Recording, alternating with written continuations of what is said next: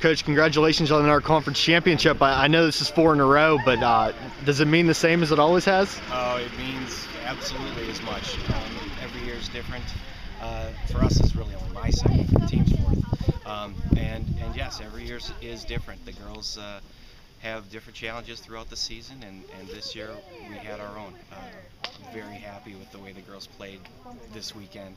Uh, it was really uh, a challenge, and when it came down to the wire, we're happy with the outcome. And again, so proud of the way these girls overcame. Yeah, I just talked to, to Morgan, and she said it was a little tougher to play the nine holes on consecutive days and not play 18. Is that something you had to talk to the team about after coming into it?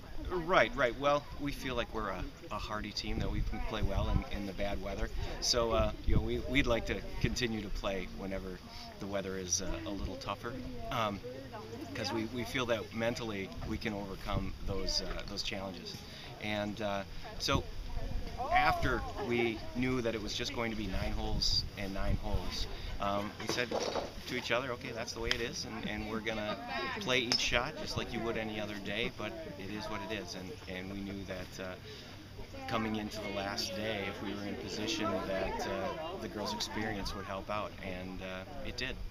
Uh, this is probably the closest um, the women's golf championship's been through two rounds going into the last day in, in some time. Um, does that make it even better for your girls to, to want to go out there and compete and not have that cushion and maybe fall back into a lull? Right. Yes, I think. Um, yeah, they were never complacent about about their position, no matter what the spread was between first and second in previous years. Um, but this year, it, it definitely peaked um, when it starts getting closer to the end and you've got some pressure coming in. Um, that uh, that experience helped quite a bit, knowing that there were more than one team, a couple teams right around you. Uh, forces you to have maybe a little bit more of a higher level of focus. And uh, our girls rose to that occasion and did well in the back nine today.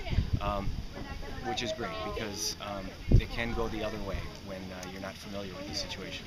Talk about Morgan a little bit. Uh, individual championship oh. that's back to back, I believe, for, for Carroll individually um, the past couple years. Uh, talk about her a little bit. Well, well, Morgan has always been one of our one of our leaders on the team. Um, always a, a, terrific performer in in our events all throughout the year. Um, no matter what the venue, whether it's at nationals or um, our conference tournaments or our, our weekly weekend events. Um, she's always one to uh, kind of put up a number, um, be the positive person in the locker room, uh, encouraging others on the team, uh, you know, showing that leadership and setting the example. And oh, awesome. Just uh, one last question. Just touch on, you know, obviously going to the NCAAs again. Uh, what are your first thoughts about that? Um, boy, first of all, just completely relieved and uh, feel fortunate that we even have the opportunity. Uh, like I said, this was a tough year with some challenges.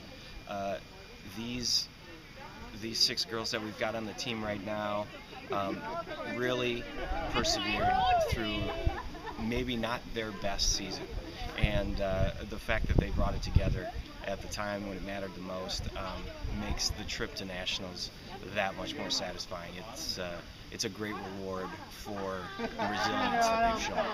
All right, congratulations, coach. All right, thank you.